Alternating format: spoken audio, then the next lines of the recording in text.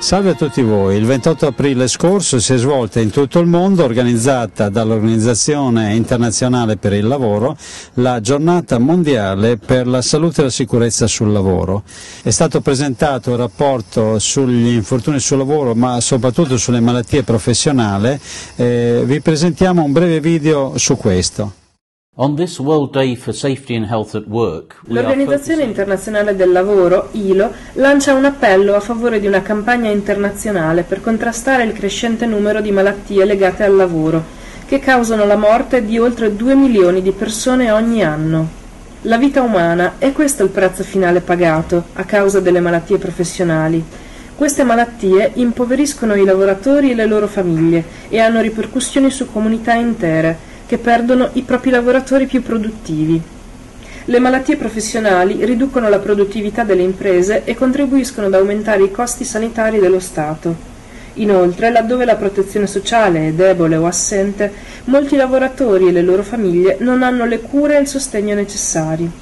È da sottolineare l'importanza della prevenzione per affrontare le malattie professionali, strumento più efficace e meno costoso delle cure e della riabilitazione. Il 28 aprile il tema eh, degli infortuni sul lavoro è stato ricordato anche in piazza San Pietro. In questo momento,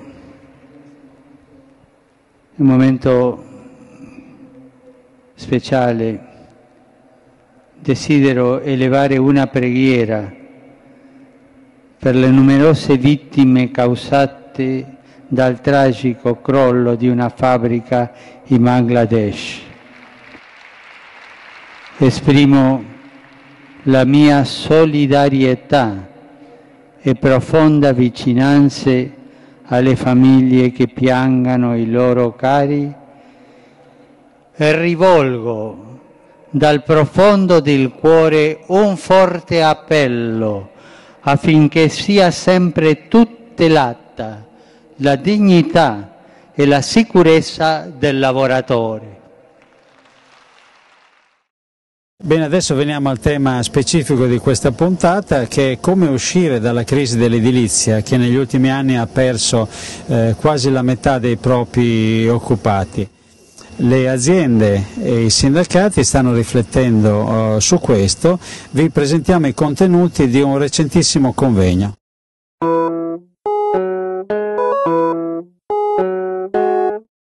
La grande crisi eh, della, dei multi subprime americani che ha scatenato la crisi mondiale è partita proprio da questa alleanza perversa e opaca tra l'immobiliare e la finanza.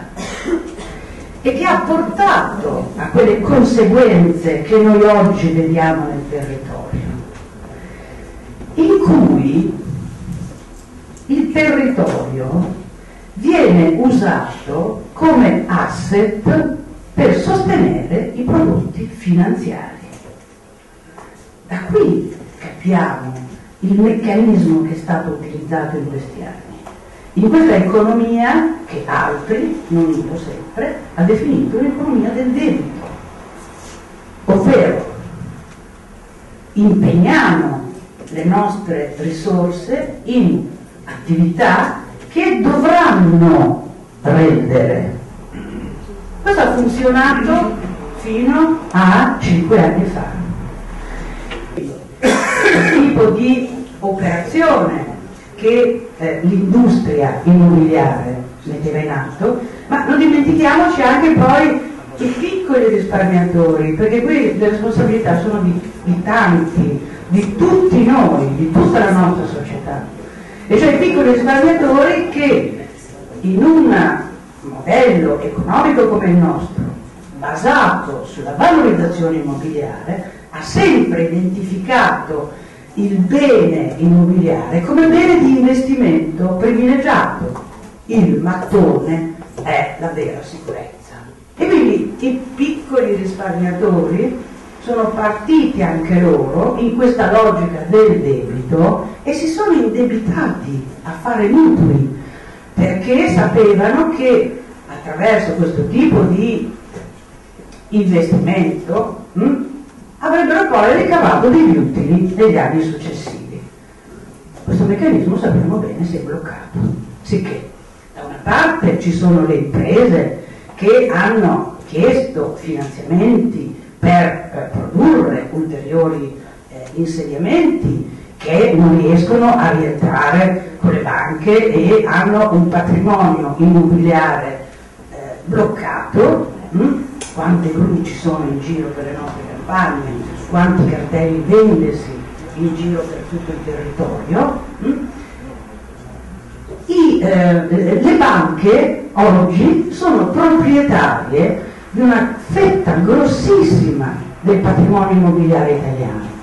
Um, vado a memoria, um, Agus Beth eh, ha calcolato che ci siano almeno 150.000 abitazioni eh, sotto sequestro. È un patrimonio che sta andando letteralmente in allora. Allora, cosa significa cambiare modello? Significa cambiare meccanismo che sta alla base della crisi eh, attuale, ovvero cambiare la modalità attraverso la quale eh, in Italia si è prodotta una eh, ipervalorizzazione dell'immobiliare e attualmente si è assistito a uno sprofondamento di questi valori. Se noi continuiamo a seguire questo tipo di itinerario, questo tipo di logica eh, di valorizzazione economica, peggioriamo la nostra condizione economica, che è una condizione che è derivata da una aberrazione nella quale siamo caduti, un'aberrazione del liberismo. Ovvero abbiamo prodotto molto più eh, edificato di quanto servisse. E regolare come l'angelo vendicativo degli economisti è arrivato il martello della logica della domanda e dell'offerta che è una regola basilare del liberismo. Quando c'è troppa offerta i prezzi calano. E quindi ci troviamo con il patrimonio svalutato con delle imprese che non riescono più a produrre oggi perché essendoci un'offerta talmente alta sul mercato è ovvio che le imprese sono ferme, perché nessuno chiede più quel tipo di prodotto, se non delle fasce particolari, che sono quelle dell'emergenza abitativa, del social housing, eccetera, eccetera, su cui bisogna ragionare con grande, enorme attenzione. E quindi bisogna cambiarlo questo meccanismo, perché altrimenti non, non salviamo le imprese. Cioè non mettiamo in circolazione quelle quote di plusvalenze che le attività economiche devono produrre e distribuire. Le, le, le, manteniamo concentrate in alcune mani e non le distribuiamo in giro per il territorio. La ricetta è la cura del territorio, eh, impiegare della, dei finanziamenti per eh, trasformare l'incuria che attualmente eh, ossessiona i nostri territori trovare delle soluzioni che riconvertano eh, l'industria edilizia, la spostino sul settore del riuso eh, del patrimonio eh, abitativo eh, già eh, costruito e quindi nella riqualificazione di questo patrimonio in chiave energetica, in chiave antisismica,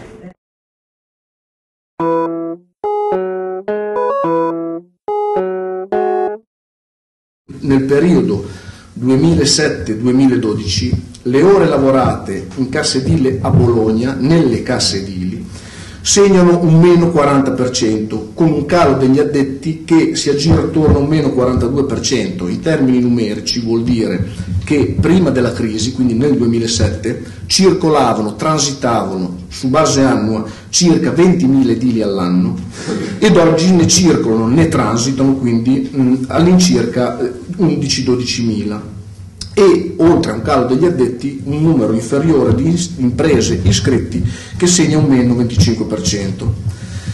Oltre a questo, nel settore, il ricorso alla cassa integrazione nel periodo 2009-2012 è stato rilevantissimo, tanto che c'è stato un incremento del 198%. Va inoltre superato il paradosso attuale per cui da una parte ci sarebbe una forte richiesta potenziale del bene casa, ormai inaccessibile